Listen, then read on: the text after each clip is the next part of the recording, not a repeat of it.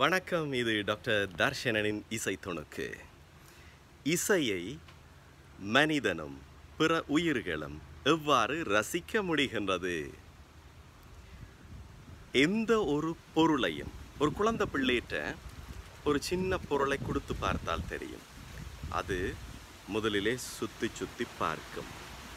இதே மாதிரி தான் ஒரு நாய்க்குட்டி ஒரு பூனைக்குட்டிகிட்ட ஒரு பந்தை கொடுத்தாலும் அது சுற்றி சுற்றி சுற்றி சுற்றி பார்த்து அது என்ன என்பதை புரிந்து கொள்வதற்கு முயற்சி செய்யும். எல்லா உயிர்களும் ஒரே மாதிரியே இறைவனால் படைக்கப்பட்டுள்ளன.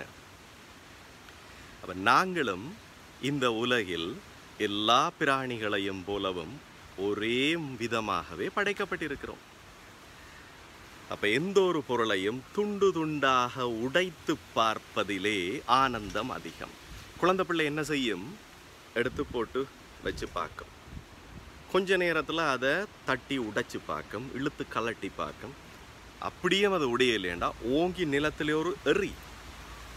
அப்படியே துண்டு துண்டா உடைஞ்சதுக்கு பிறகாவது அதுக்குள்ள என்ன இருக்குன்னு பார்த்துருவோம் இப்போ வெளியில எவ்வளவு அழகாக இருக்குதுன்றது முதல் கொஞ்ச நேரம் தான் அதை ரசிப்பார் மனிதன். அதுக்கு பிறகு உள்ள என்ன இருக்குன்னு உடைச்சு பார்த்துட வேணும். அப்படி பார்க்கறது உயிர்களின் குணமும் தான். நாய்க்குட்டி. ஒரு செருப்பை முதல்ல தூக்கி கொண்டு திரியும் கொஞ்சம் ஆசை தீரும் வரைக்கும். அதுக்கு பிறகு அதை அறுத்து துண்டு துண்டாக பிச்செடுத்து உள்ள என்ன இருக்குன்னு பார்க்க முயற்சி செய்யும். ஆகவே இசையையும் மனிதன் துண்டு துண்டாக உடைத்து அதனை உள்ள என்ன இருக்குன்னு பார்ப்பதிலே ஆனந்தம் கொள்ளுகின்றான். இசை இந்த உலகமெங்கும் பிரவாகித்து கொண்டிருக்கின்றது.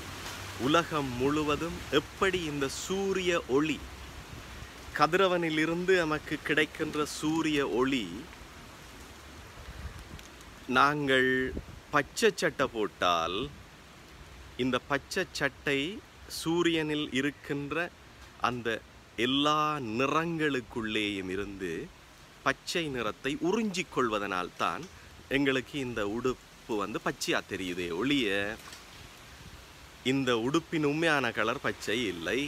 ஏனென்றால் ஒரு நாய்க்குட்டி அல்லது ஒரு மாடு பசு இதெல்லாம் பார்க்குற போது அதுக்கு இது பச்சையாக தான் தெரியும் என்று இல்லை. நாய்க்குட்டிக்கு எழுத தெரிஞ்சால் தானே அது பச்சைன்னு சொல்கிறதுக்கு ஒரு மாட்டுக்கு அதுக்கு எழுதி காட்ட தெரிஞ்சால் தானே இது பச்சை என்றதால் சொல்ல முடியும். அல்லது வாய் திறந்தால் தானே பச்சை என்று தெரியும். ஆகவே அது அப்படி இந்த ஷர்ட்டை க இந்த கலரை உணருது என்பது எங்களுக்கு தெரியாது.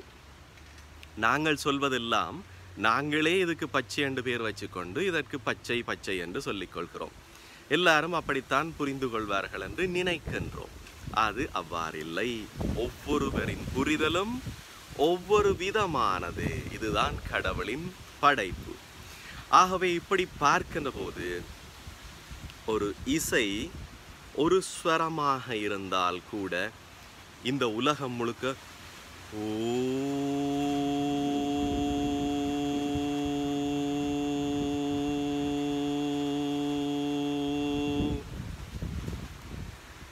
அப்படி இடையறாது ஒரு ஸ்வரமாக நின்று ஒலித்து கொண்டிருக்கும் போதே அதனை ரசிக்க முடிகின்றது. முன்னொரு காலத்திலே மந்திரங்கள் அவ்வாறு ஒரே ஸ்ருதியில் ஒரே ஸ்வரத்தில் நீண்ட நேரம் மூச்சு பிடித்து நின்று ஒலிக்கப்பட்டு பக்தர்களை பக்தி பரவசத்துக்கு உள்ளாக்கி ஈர்த்து வைத்திருந்தன. ஆனால் இன்று மனிதனுக்கு மாற்றங்கள் வேக வேகமாக தேவைப்படுகின்றன. உடனடியாக எதுவும் அலுத்து போய்விடுகின்றது. வித்தியாசம் வித்தியாசமாக தேவைப்படுகின்றன விடயங்கள். ஃபாஸ்ட் ஃபுட் அது இது என்று மனிதன் ஒன்றில் ஒரு நிலைத்து ஒன்றரை நிமிடத்துக்கு மேல் நிற்க முடியாமல் அடுத்ததை தேடுவான். அப்போ இப்படியான அந்த போர் அடிக்கின்ற அல்லது அலுப்படிக்குது அலுப்பு தட்டுது அடுத்த வேலை செய்யணும். ஒரு வேலையை எவ்வளோ நேரம் செய்கிறது இப்படியான மனிதனினுடைய வளர்ந்து விட்ட எதிர்பார்ப்பினாலே நாங்கள் என்ன செய்கிறோம்?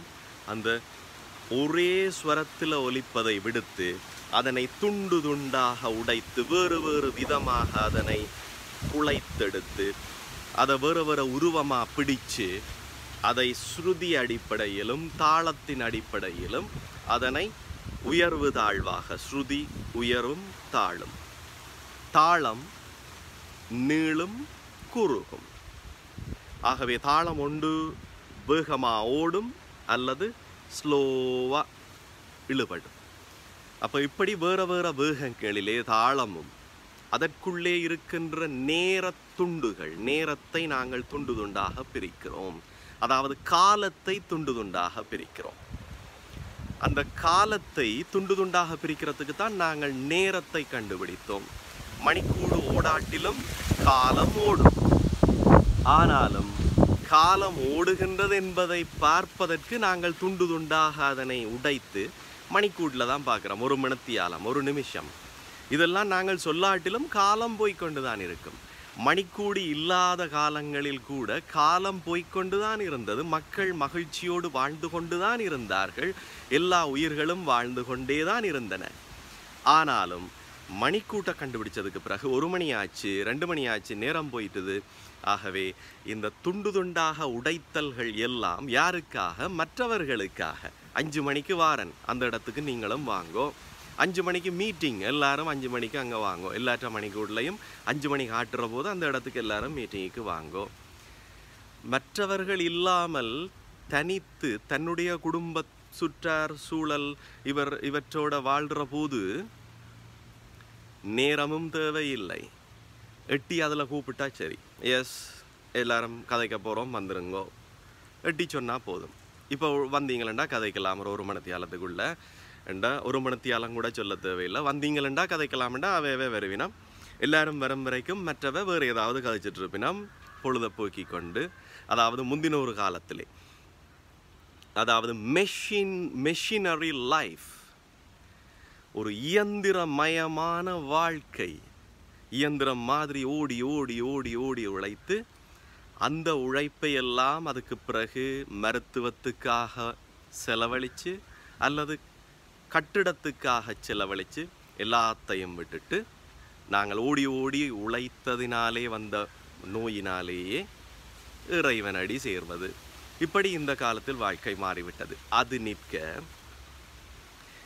இப்போ ஸ்வரங்களாக துண்டு துண்டாக இசையை பிரித்து ரசிக்கின்றோம்.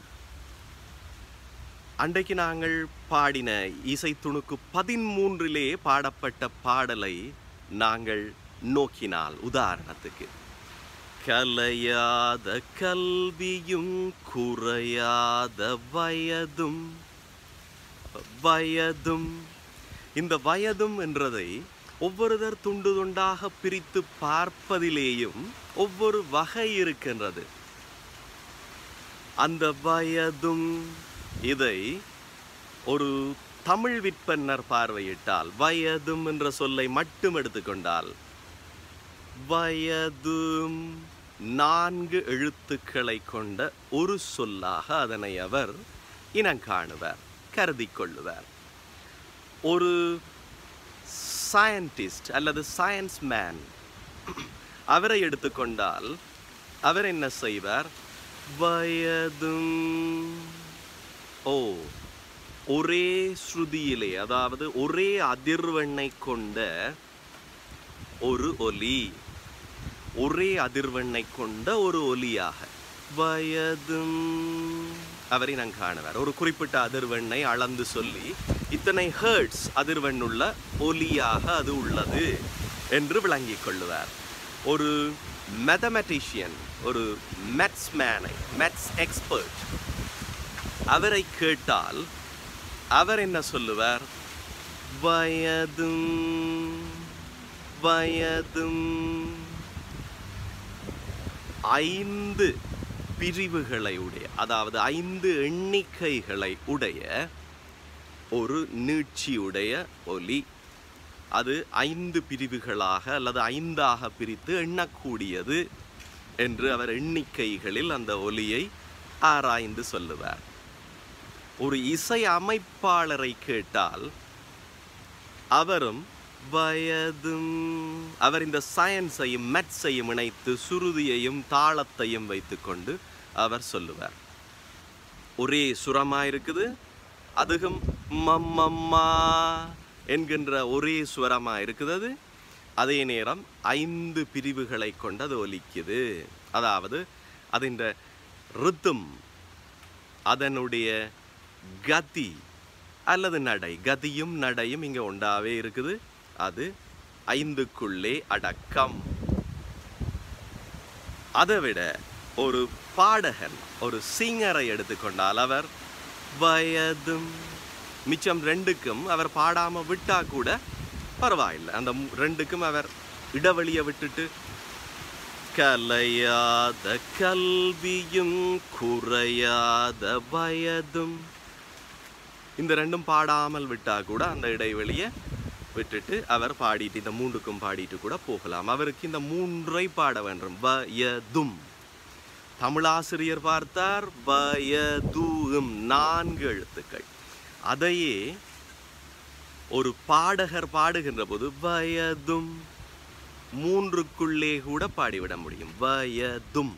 வயதும் என்று பாடுவதில்லை.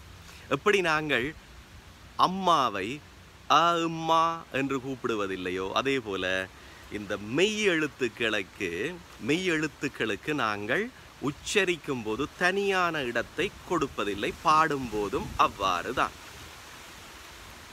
ஆகவே இப்ப ரெண்டு விடயத்தை நாங்கள் கவனிச்சிருக்க கூடும்.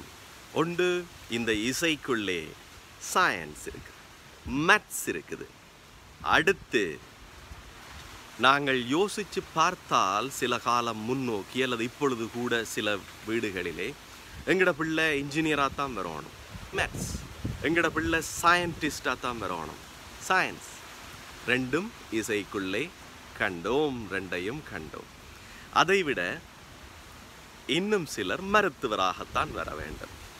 இந்த விஞ்ஞானத்தையும் இந்த கணிதத்தையும் அதாவது ஸ்ருதியையும் தாளத்தையும் இணைத்து எங்களுடைய மனத்தின் உணர்ச்சியை சுத்தமாக மக்களுக்கு வஞ்சகம் இல்லாமல் கொடுக்கும்போது மக்களுக்கு கிடைக்கும் அந்த சூதிங் எஃபெக்ட் தெரப்பியூட்டிக் எஃபெக்ட் அதுதான் மருத்துவம்.